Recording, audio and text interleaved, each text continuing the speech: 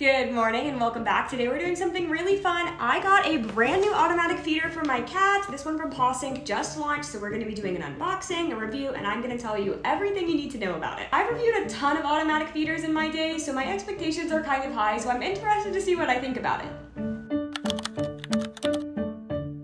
Right away, I can tell that this brand put in that little bit of extra effort to make sure that this product felt high end and luxury, and even just the box it comes in feels really nice. Might feel like a silly thing for me to point out, but I think it's the little details that really matter, and at $99, I really think this product is a steal. A lot of similar automatic feeders on the market don't have the features that this one does, and they come with a heftier price tag. After getting everything unboxed, I'm not surprised to say that it feels very high quality, just like I was expecting, and I'm really excited to go ahead and open everything up and get into all the features. One of my favorite things about this feeder is that it comes with a 304 stainless steel bowl, and I don't think people wash their pets' bowls nearly as much as they should be, especially when it comes to automatic feeders. They just seem to get overlooked. It's also easily removable, so keeping it clean should be really easy, and it's nice and shallow so it won't cause whisker fatigue. Comes with one of these little silica gel moisture packets that you pop into the lid, which will help keep the food fresher for longer, and the tank itself that the food sits in is BPA free. The lid to the tank also has a secure locking system, so our pets can't sneak in an extra meal by learning how to open the top. This feeder also has a battery backup, so even if your power goes out, the feeder won't go down. In order to plug it in, you do have to remove the battery cover, plug it in, rotate the cable, and then pop the battery cover back on, which I will be honest, I thought originally was very annoying, but I now realize it's just to make sure that it doesn't accidentally come unplugged, so I do think it's worth the extra little bit of hassle. Setup was really easy. You just download the PawSync app and follow the prompts to set up your feeder, and you can add things like what pets you have and then the schedules and amounts you want to feed them. I kind of forgot to pick up extra food to make sure I could fill Milkshake's feeder all the way to the top, but once you fill the feeder, you can mark that in the app and it will keep track for you. That way, once you start to run low, it'll remind you to buy more food. I use very specific brands of air dried raw in my automatic feeders because with previous feeders, they tend to get stuck with bigger pieces of food. PawSync feeder has smart jam technology, so it's compatible with a variety of different shapes and sizes of food and even automatically reverses if a blockage occurs, keeping food flowing. Our the most unique feature of this feeder is the built-in scale that measures food by weight instead of volume. This makes keeping track of calories so much easier and creates a much more customizable experience. The manual button on the machine itself for individual feedings, and so far I'm incredibly impressed. I really tried to find something about this feeder that I wasn't impressed with, but so far it just checks all of my boxes. It literally even sent me a notification and told me how long it took for my cat to eat her lunch. Definitely keep you guys up to date and let you know how it's doing after a few months, and in the meantime, thank you guys so much for watching.